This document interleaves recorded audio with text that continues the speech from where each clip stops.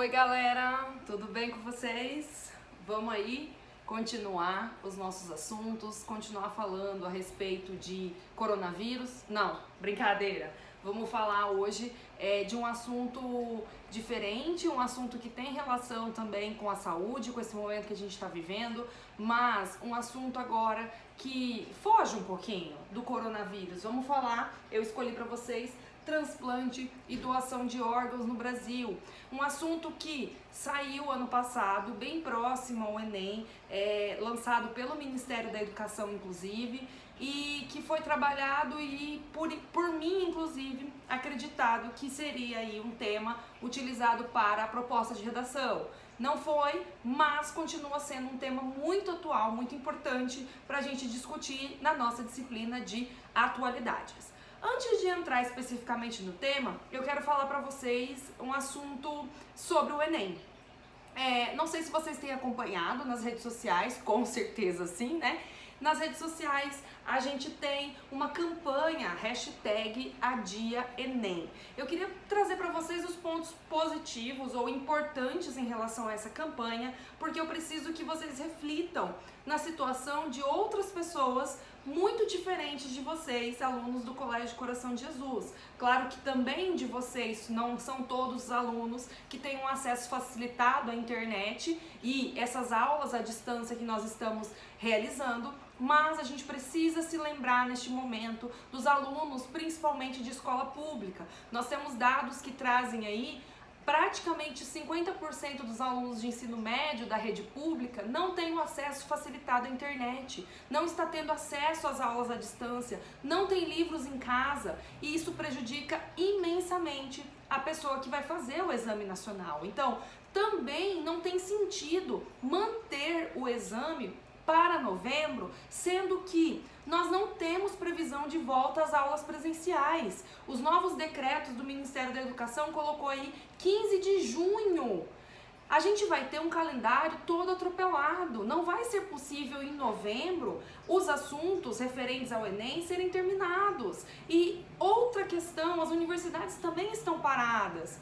Será que o calendário das universidades ano que vem vão ser retomados em fevereiro ou em março? Ou isso vai ser mais para frente? Qual a necessidade de manter a data em novembro? Não parece, né? Que seja aí a principal prioridade manter essa data de novembro. Então é algo aí a ser pensado. A gente tem campanhas muito bonitas na internet também, é, de pessoas que estão se dispondo, colocando o seu tempo para ajudar pessoas que têm alguma dificuldade, principalmente da escola pública, em relação à matemática, em relação à língua portuguesa, em relação à redação. Mas isso mantém a, o fosso né, das desigualdades sociais entre ricos, entre pobres, entre estudantes da rede particular, estudantes da rede pública. É algo que vocês deveriam pensar. Claro, aqui estou colocando o meu ponto de vista, todos os pontos de vista são importantes, é algo apenas para vocês refletirem, ok? Bom, então em relação ao tema, especificamente o transplante de órgãos,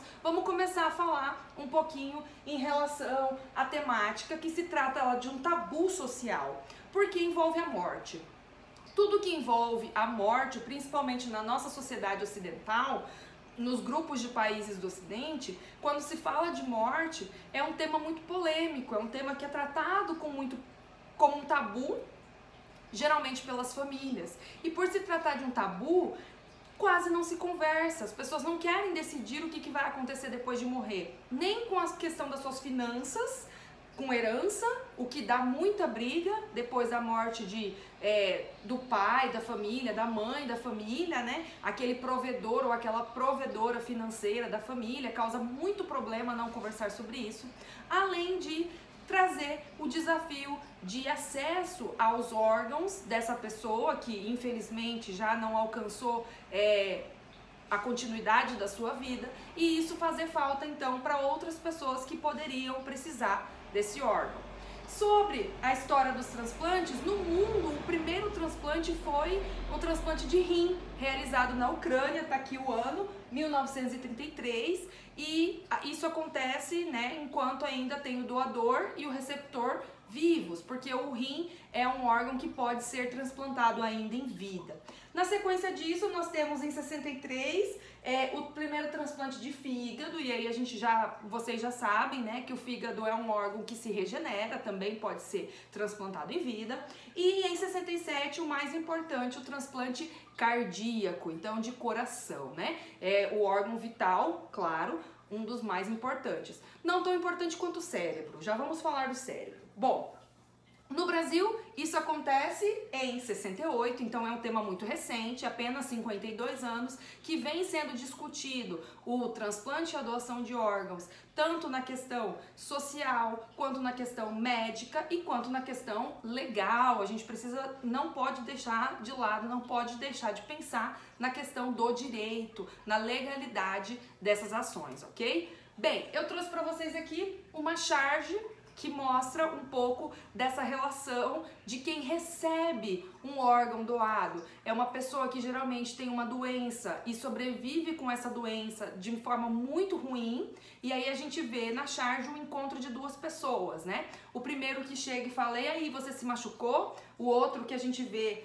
que tá alvejado, que foi alvejado de bala, mas ele diz, né? Se não fosse o colete, agora eu estaria morto. E aí o outro que perguntou, na segunda tira ele vem. Eu bem sei como é isso. No meu caso, se não fosse um doador. E aí ele abre e a gente vê a marca cirúrgica aqui de um transplante de coração. Isso mostra a importância que é para quem recebe esse órgão. Claro, a gente não queria que a pessoa que doou tivesse morrido, óbvio, né? Mas o quanto isso é importante para quem recebe, a vida que passa agora então a voltar a pulsar de forma melhor para quem recebe. Bom, sobre os desafios da questão, eu trago duas, dois blocos de desafios mais em, assim destacados. O primeiro bloco relaciona-se à desinformação. O segundo bloco relaciona-se à falta de infraestrutura no Brasil sobre isso. Em relação à desinformação, a primeira questão é a falta de conversa. Pessoal, é, como eu disse, é um tabu. E aí muitas vezes não acontece disso ser conversado, de ser combinado antes de acontecer um acidente, antes de ter uma doença grave que vai fazer com que a pessoa entre aí nesse cadastro de possível doador. E aí chega no momento que a pessoa morre e a família tem que decidir Muitas vezes essa falta de conversa vai prejudicar, sendo a decisão da família tomada sem respeitar a vontade daquela pessoa que morreu. Outra questão são motivos religiosos e alguns mitos. Vocês bem sabem que algumas religiões proíbem o transplante, né, de qualquer tecido do corpo, de qualquer é, parte física aí biológica do nosso corpo, tanto órgãos quanto sangue, né? Então, esse motivo religioso, ele precisa ser respeitado pela legislação, pelos médicos, por toda a sociedade. Os mitos envolvendo são principalmente relacionados à questão da deformação do corpo. Algumas pessoas acreditam que depois de retirados órgãos, principalmente o coração, ou as córneas, isso vai ficar é, com a aparência do defunto no velório deformada. Isso não acontece.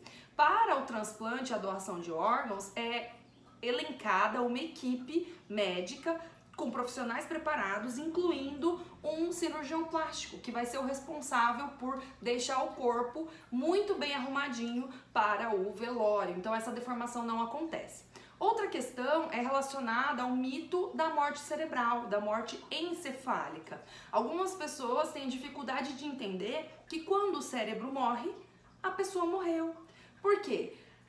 Quando isso acontece, os aparelhos que mantêm o resto do corpo funcionando fazem com que o coração bata, que ele está bombeando sangue, que aquela pessoa parece que está respirando, e aí a pessoa fica com aquela dúvida: mas morreu o cérebro, mas ela está respirando, ela está bombeando sangue, ela não morreu.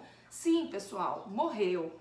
Quando acontece, quando é decretada a morte cerebral, aquela pessoa já não está mais ali. A morte encefálica existe toda uma preparação para o anúncio disso da família. Não é simplesmente que o médico tira da cabeça que morreu. Tem exames que são feitos e são necessários dois médicos para decretar que a pessoa morreu, teve morte encefálica. Então, também Não podemos levar adiante o mito de que enquanto está sendo retirados os órgãos, a pessoa ainda está viva. Não, isso não acontece, tá? Outra questão importante é o medo do tráfico de órgãos. Se a gente vê pessoas sendo traficadas, né, sendo levadas para outros lugares aí, é, para prostituição e muitas outras coisas, imagina os órgãos, né? Claro que sim, isso existe e é importante ter medo, mas é importante também é, estar atento a todo o processo de transplante e doação de órgãos. O segundo, então, relaciona-se à infraestrutura da nossa rede de saúde. E lembrar, pessoal, que o SUS é um dos modelos mais importantes no mundo de saúde pública. Os Estados Unidos, por exemplo, sofre com uma questão de a saúde ser privatizada, né? A pessoa, para ter acesso à saúde, ela precisa pagar o número de pessoas que são atendidas de forma gratuita é ínfimo, é muito pequeno mesmo. Dei uma pesquisada depois sobre o sistema de saúde nos Estados Unidos. Bem, em relação a isso, as emergências, elas não estão preparadas para fazer, muitas vezes, a maioria delas não está preparada para esse processo de retirada e locomoção e transplante desses órgãos. Também esse fluxo logístico, quer dizer, de sair de um hospital, porque na maioria das vezes, de onde está sendo retirado o órgão, não vai ser ali mesmo que vai ser transplantado, pode estar em outra cidade, pode estar em outro estado. Então, todo esse fluxo logístico no Brasil, infelizmente, ele não é 100% adequado. Há uma grande dificuldade de infraestrutura. E por último, os profissionais capacitados para o procedimento. Não é no Brasil todo que nós teremos a equipe capacitada. Então precisa-se, é necessário também capacitar os profissionais de saúde, ok? alguns dados, algumas informações que são relevantes e que são importantes para o desenvolvimento desse tema. Em 2015, houve um recorde histórico no Brasil de doação de órgãos. Segundo o Ministério da Saúde, 2.983 órgãos foram transplantados, isso foi um número recorde. Além disso, depois de 2015, em 2016 e 2017, a gente vê uma, um crescimento, a manutenção desse crescimento, né? E o problema vai sendo solucionado pelo governo, pelas autoridades, mas ainda existe a grande dificuldade relacionada à desinformação. Aqui, ó, de acordo com a Associação Brasileira de Transplante de Órgãos, a ABTO, de 100 famílias no Brasil, 43 recusa fazer o transplante. Então, a, um, a porcentagem de recusa no Brasil é de 43%. Mas, se a gente começar a falar de regiões específicas, por exemplo, na região norte, o índice de recusa chega a 90%. Então, isso é mais grave na região norte e menos grave na região centro-sul. Mas a gente precisa trabalhar com o Brasil de forma geral, de forma ampla. Aqui a gente fala sobre a fila de espera e o número de pessoas que querem doar. A fila de espera das pessoas então que precisam receber um órgão, ela é gigantesca, gigantescamente maior do que quem é, quer doar o seu órgão. Então, isso é um reflexo que causa aqui a mais uma charge que eu trago para vocês. A gente tem a fila para doação de órgãos, quem quer doar, não tem ninguém na fila, e a fila de transplante de órgãos, quem precisa receber um órgão. A fila é imensa, não acaba, não é suficiente. Então, a quantidade de doadores para a necessidade de pessoas que precisam receber.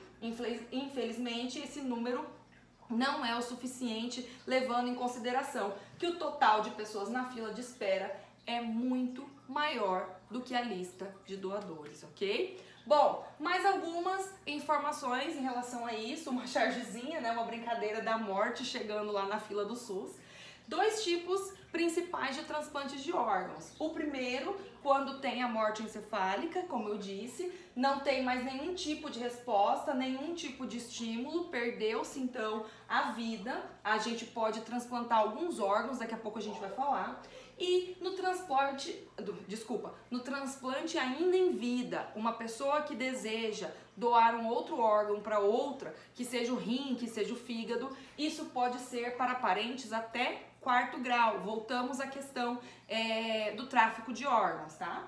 E é necessária sempre uma autorização judicial, caso não seja parentes. Essa doação pode ser para parentes até quarto grau, ok? Aqui a informação a respeito da morte cerebral. Para constatar, deve haver análise de dois médicos diferentes e dois exames devem ser realizados: o eletroencefalograma e o angiograma cerebral. Reforçando o que eu disse, não chega ali da hora para outra que o médico fala morreu, teve morte cerebral, tá, pessoal? Isso é muito bem cuidadosamente executado. Aqui, os órgãos para o transplante. Os órgãos mais difíceis de serem transplantados são os vitais e também são os mais transplantados do mundo. Órgãos vitais: rim, fígado, coração, intestino, são os vitais, né? Ninguém consegue viver sem eles. Além desses órgãos, a medula óssea e o tecido, os tecidos, isso pele, ossos, tudo isso é, aqui, como a pele, podem ser transplantados também. Tem acontecido muito em relação ao transporte de pele é, por causa de ferimentos como queimaduras, né? Após a parada do coração, olha a diferença. Enquanto tem a morte encefálica, os órgãos continuam funcionando. O problema é quando acontece a parada cardíaca. Quando o coração morre, os únicos órgãos que ainda podem ser transplantados são córneas e rins além dos ossos. Então, esperar pela parada cardíaca ou demorar demais entre a morte encefálica também pode fazer com que esses outros órgãos importantes percam a sua utilidade. Aqui a gente tem é, o tempo máximo, a relação do tempo máximo que pode é, o órgão aguentar para ser transplantado, tá? Não se esqueçam, eu sempre compartilho com vocês os slides e aí vocês vão poder olhar essas informações com mais atenção, detalhadamente, né? É, antes do transplante, cada órgão ele é analisado para que se identifique o receptor ideal e aí as córneas têm que ser retiradas no máximo em 6 horas e elas duram 7 dias até chegar para quem vai ser o receptor. Os pulmões só podem ser retirados antes da parada cardíaca e duram de 4 a 6 horas fora do corpo. Então tem que ser muito rápido os pulmões. Mais um exemplo aqui, os ossos que são retirados no máximo 6 horas depois da parada cardíaca e duram apenas 5 horas para é, ser retirado, para ser preservado fora. Mas existe uma forma de preservação dela congelada, tá? Ossos congelados. A importância do diálogo. Vamos entender um pouquinho o caminho da doação. A primeira coisa que precisa acontecer ó, é o cadastro dos, do receptor no sistema. Ou seja, eu tenho uma doença, uma é, doença aguda no rim e eu preciso receber um rim para eu poder sobreviver. Esse é o primeiro passo. Eu tenho que ser cadastrado no Sistema Nacional de Doação. Depois acontece o registro de algum óbito de algum paciente no Brasil inteiro. Depois, a doação dessa pessoa que morreu é autorizada pela família. Quarto, a equipe de transplantes busca um receptor compatível. Então, vai no sistema, pega todas as informações desse cadastro que já foi realizado para poder encontrar um receptor compatível. Ao encontrar o receptor com... Opa! Ao encontrar o receptor compatível, o órgão então vai ser retirado, transportado e transplantado, ok? Aqui uma campanha, né? Os ministérios da saúde, é, as secretarias de saúde dos estados do Brasil fazem campanha em relação a essa doação de órgãos, em relação a essa conscientização.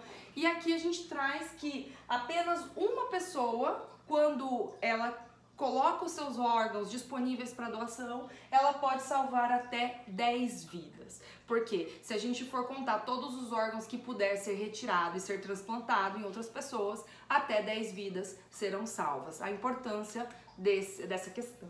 Aqui, mais uma chargezinha, o rapaz lá que tá, é, o coveiro, ele fala: precisamos derrubar os tabus, dialogar enquanto estamos vivos, porque isso era a vontade deles. As pessoas que foram enterradas e queriam doar o seu coração, as suas córneas, o seu rim e não tiveram a sua vontade respeitada, tá? Atividade, claro, como sempre para vocês, né? Vocês vão escrever um texto dissertativo argumentativo, padrão aí é, de redação, dizendo, trazendo para mim é, algumas propostas de intervenção para resolução desse problema. Eu elenco aqui cinco ideias que vocês podem utilizar para solucionar esse problema e assim como a gente sempre combina, vocês têm o prazo de uma semana do dia que a aula está sendo postada para enviar-me, ok? O texto façam como vocês sempre fazem, no próprio caderno, tirem uma foto, se puder colocar isso em PDF melhor ainda, mandem para o líder, o líder manda para mim, ok pessoal? No mais, continuem se cuidando, vamos aí manter a nossa cabecinha em ordem, eu estou com saudades, a gente se encontra. Tchau!